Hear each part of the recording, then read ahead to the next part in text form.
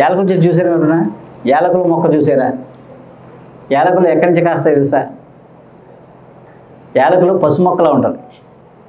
వాళ్ళకు పొట్టు చూసి తెలుసుకొని మేము నెట్లోనే వచ్చేస్తాం లేదు యాలకులు పసుపు మొక్క ఉంటుంది కదా పసుపాకులాగా ఉండి మొక్క వస్తుంది.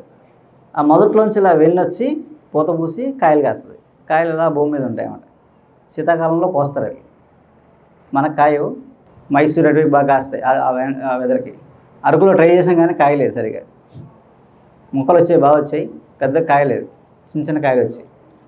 అరకులో ఒక రెండు ఎకరాల ట్రైబల్స్లో వేయించాం తోట. మొక్కలు బాగా ఎదిగినాయి. కానీ అంత క్రాప్ రాలేదు. అంటే సరిపోలేదు. అక్కడ ఆ- ఆ చలనం దానికి అనమాట ఇప్పుడు మనకు సడన్గా ఇంట్లో ఎవరికన్నా పెద్దవాళ్ళు కానీ ఎవరికన్నా యూరిన్ ఆగిపోయింది అనుకోండి. ఏదో కారణం కారణం ఏదైనా పక్కన పెడితే ముందు యూరిన్ స్టక్ అయిపోయింది. యూరిన్ అవ్వట్లేదు. ఇక విపరీతమైన పెయిన్ వచ్చేస్తుంది. స్వెల్లింగ్. సడన్గా. ఆ టైంలో వెంటనే యూరిన్ అవ్వాలి. మామూలుగా హాస్పిటల్కి వెళ్తే ఏం చేస్తారు?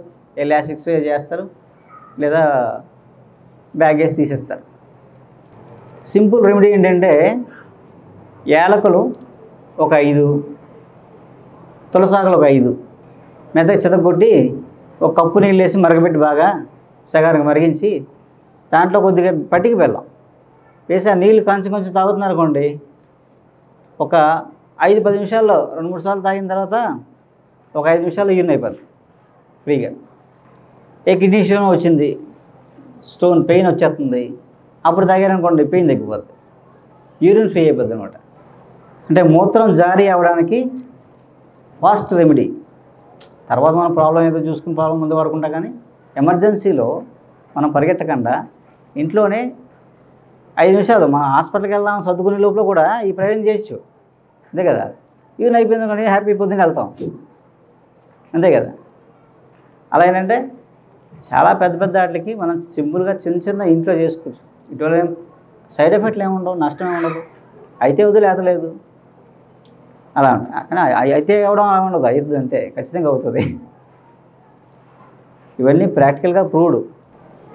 ఇంకోటి ఏంటంటే వన్ సైడ్ తలనొప్పి వస్తుంది అనుకోండి. అంటే మైగ్రైన్ హెడేక్ అంటాం పార్సినెప్ అంటాం.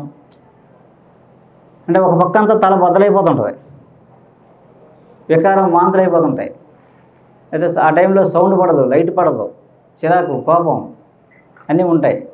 అప్పుడు ఎన్ని సాటర్డేలా మిగిలిన పెయిన్ కిల్లర్స్ వేసిన నాలుగేసి మూడు వేసిన తగ్గదు. ఇంక కొంతమంది దానికి అలవాటు పడిపోయి ఆ సీన్ ఉన్న అలా ఉండిపోతారు ఇంకా ఫిక్స్ అయిపోయి. ఎటు వెళ్ళరు వాళ్ళకి తలనొప్పి ఇలా వస్తుంది కదా ఈ పక్క వస్తుంది కదా అది కరెక్ట్గా వన్ సైడ్ పెయిన్ ఇది రైట్ అవ్వచ్చు లెఫ్ట్ అవ్వచ్చు.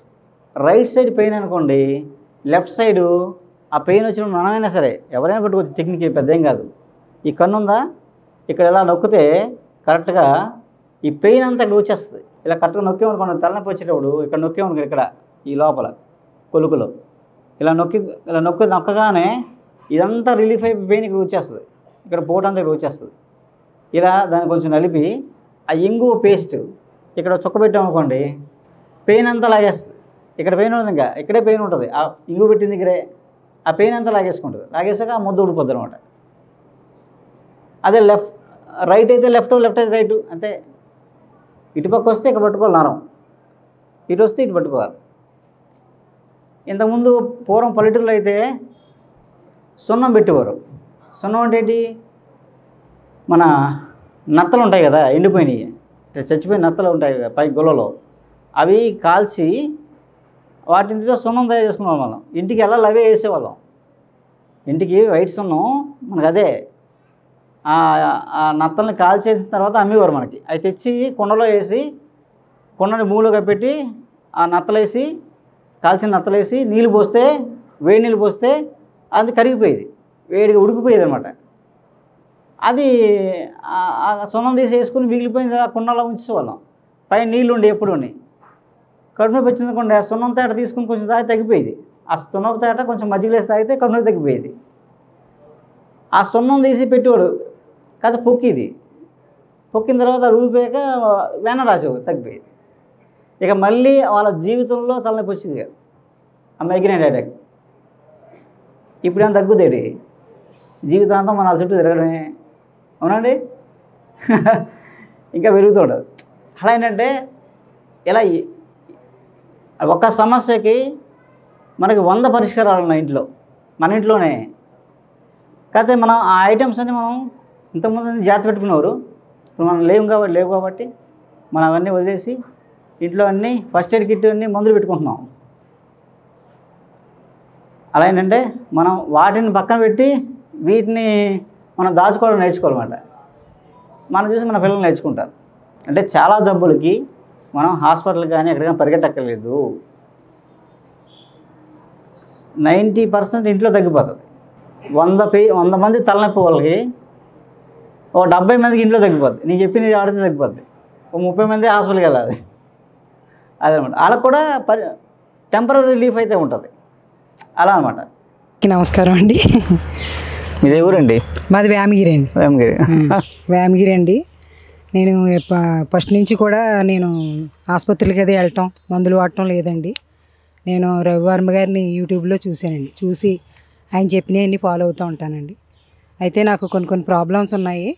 నేను ఫోన్ చేశానండి. ఫోన్ చేస్తే అలానే రెండు రోజులు క్యాంప్ ఉందమ్మా కంపల్సరీగా రావాలి అన్నారండి. అదే రండి. బాగుంటుంది. డాక్టర్ గారితో కూర్చొని మాట్లాడటానికి మందులు వాడటానికి అన్నింటికి బాగుంటుంది. రండి అంటే అప్పుడు వచ్చామండి. కానీ చాలా బాగుందండి. అన్నీ తెలుసుకున్నారండి మొత్తం. నాడీ పరిశోధన చేశారు. నిన్న వచ్చినప్పుడు వెంటనే చేశారండి పొద్దున్నే ఉదయం. మళ్ళీ ఈ రోజు ఉదయం ఐదు గంటలకే చేశారండి. చేసి మందులు అవి ఇచ్చారండి.